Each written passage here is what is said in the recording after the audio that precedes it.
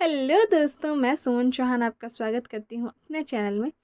तो आज हम बनाएँगे दांतों के लिए ऐसा रामबाण इलाज। अगर आपके दांतों में दर्द है, अगर आपके दांतों में सूजन है, अगर आपके दांतों में कीड़े लग गए हैं, अगर आपके मसूड़ों में सूजन है थोड़ा सा दर्द रहता है या फिर मसूड़ों से खून आता है, या फिर अगर आपके दांत पीले हो गए हैं या फिर काले या फिर भूरे कलर के हो गए हैं, दांतों में चमक सफ़ेदी नहीं है दानों, दांतों की, मसूड़ों की, मुँह की हज़ारों परेशानियों का सिर्फ़ एक ही इलाज है, वो है फिटकरी।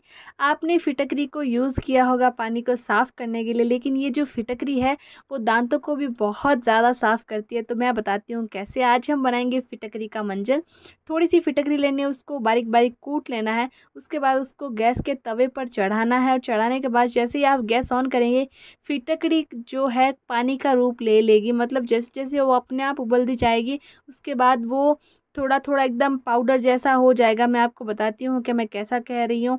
जैसे जैसे ये गाढ़ा होता जाएगा मतलब चलता जाएगा, अपने आप उबलता जाएगा तो इसका जो कंसिस्टेंसी है वो इस तरह से हो जाएगी, एकदम वाइट कलर की पतली सी शीट बन जाएगी।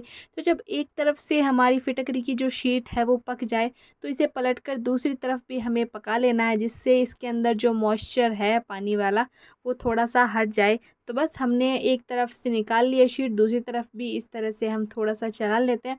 तो फिटकरी का जो पाउडर फॉर्म यहाँ पे बन चुका है तो अब ना हम यहाँ पे हमने दूसरी तरफ़ भी बहुत अच्छे से चला लिया है, इसे एक प्लेट में निकालते हैं और हाथ की मदद से सबसे पहले फिटकरी को हम यहाँ पे तोड़ते हैं। देखा कितना पाउडर फॉर्म में यहाँ पे बन गया है।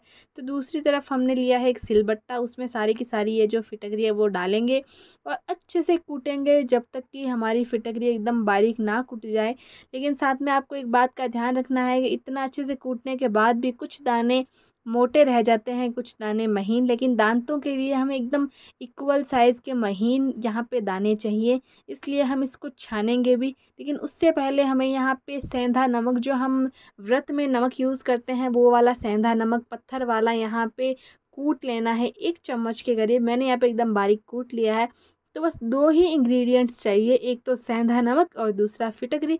एक चम्मच के करीब सेंधा नमक को इस फिटकरी में ऐड करके अच्छे से यहाँ पे एक बार और चला लेना है और उसके बाद ना एक कटोरी के ऊपर छलनी रखनी है और जितना भी फिटकरी और सेंधे नमक का जो मिक्सचर है, वो हमें यहाँ पे छलनी के ऊपर रखना है और रखने के बाद ना छान लेना है। इससे होगा यह कि जो भी फिटकरी में मोटे दाने रहेंगे, वो ऊपर ऊपर छलनी के रह जाएँगे और जो महीन इक्वल साइज़ के दाने होंगे, वो नीचे की तरफ़ छन जाएँगे। इससे हमारा जो दांत साफ़ करने वाला पाउडर है, वो इक्वल बनेगा, इक्वल दानों दांतों का, इक्वल दानों का, जिससे हमारे दांत एकदम चमकदार हो जाएँगे। आप एक से दो बार दिन में ज़रूर से यूज़ करें, हफ़्ते भर के अंदर ही आपको बहुत अच्छा रिज़ल्ट मिलना शुरू हो जाएगा।